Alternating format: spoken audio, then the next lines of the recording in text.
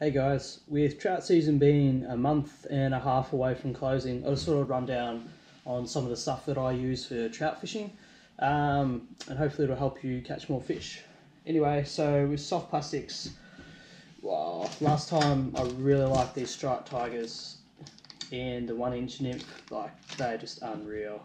Like, look at them, they're awesome. I rig them with a 120th jig head, so it's super small out. Super small, super light, and it just looks so lifelike floating down a rapid. I've even used them in still water, uh, like in a, a, a, big kind of uh, reservoir kind of setting. They work really well as well. They, they still smash them. In the rivers, just give them a, like retrieve them normally, and just twitch the rod end as it comes down. It gives it a bit of lifelike action. That seems to be the best way to go. Other soft plastics I use are the good old motor oil grub they, they work for anything from trout, flathead, bream, everything. I've caught actually I've caught a big carp on that before.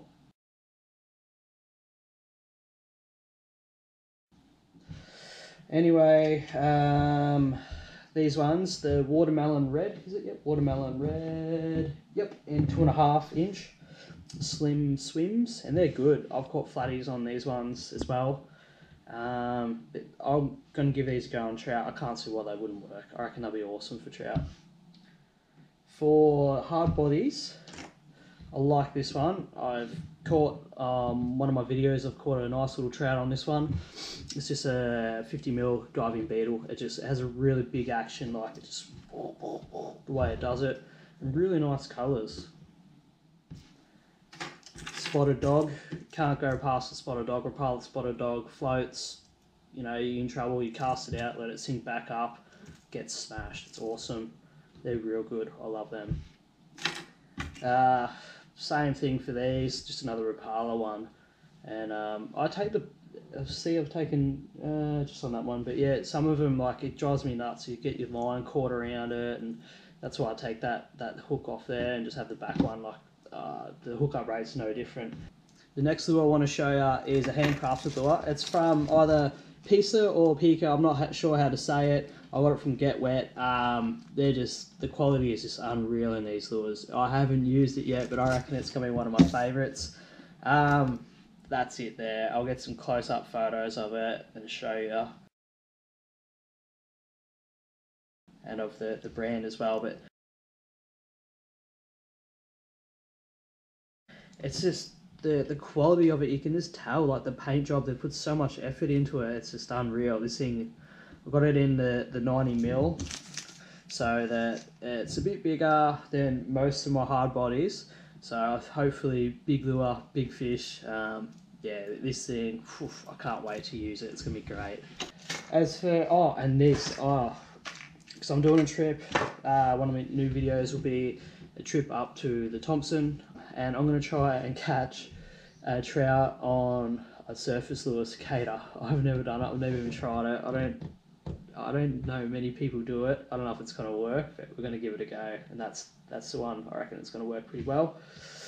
Um, as for gear, I've got my Stradic here, uh, two and a half thousand. She sounds a bit worn out, but it does the job uh, six pound braid. It is thin as thin, eight pound leader. Could probably go thinner, but I don't. I like lots of leader, so I can just grab the leader instead of the line. Not so, look, can't even probably see that. It's that small. anyway, it's it's awesome. It's such a good reel. It needs a bit of love from me, but uh, we'll get there. And for me rod, I'll show you. Crucis one to three kilo. It's six foot. You can get into tight little streams, and it's just unreal. This thing, you will cast a lure an absolute marvelous bugger like that, and it just goes. Even those 120th jig heads, they just go. They're awesome. I love this rod. It is so beautiful. And the tip, like you can see, it's just a. It's so. It's quite like it's a graphite rod. It's they reckon it's as close as it's going to get to a unbreakable rod in one to three kilos, and I believe it. It's unreal. Like it's just, it's so strong. It just feels strong, even though it's like a twig, and like that. It's one mil on the end there. It's such a great rod.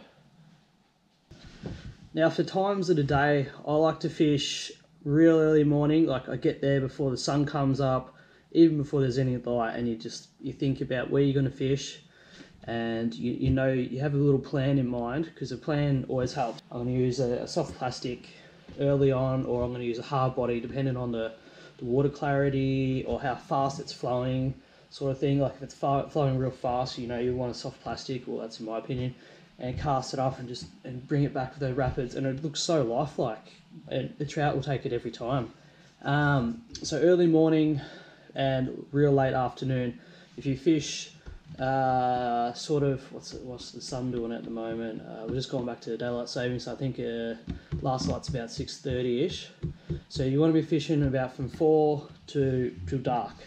And and that that's that'll be your peak times for fishing. And just your basics: always cast upstream, um, bring the lure back down with the current, because um, the fish will be the water will be coming this way. The fish will be sitting here, and they'll see something go past and just go whoop, and just smash it. And you don't need to give it a big old reef. Half the time they just hook themselves, like just a little, you know, little um, little set of the hook and and you're on. So anyway, that's just my few tips and uh, the gear that I like to use for trout fishing. Oh, you, you got also you got some Celtas. I don't use Celtas much anymore. Now that I use um, now that I use soft plastics more, I don't use Celtas hardly ever. Like, because you can work a soft plastic like a Celta. And saying that, like you you can work it in real shallow water. Um, so and fast running water. So what's the point of using something that's metal that a trout's going to hit, and if he doesn't hook up, he's going to be like, oh, that was no good. When you can use something like this that looks like a real bug, you know, it's a crustacean, or, and um, if they bite it and they don't like it, they can come back and they'll have another go because it feels lifelike. It doesn't feel like metal. So yeah, that's that's was my opinion. But uh, yeah, so hopefully we'll have another video coming up soon of me fishing at Thompson, catching heaps of trout. That'd be real good. Um, until then, like and subscribe. Down beside the subscribe button, there's a little bell. If you click on that, it'll let you know when um, I've posted up another video and you can get over and watch it straight away. Uh, thanks for your time.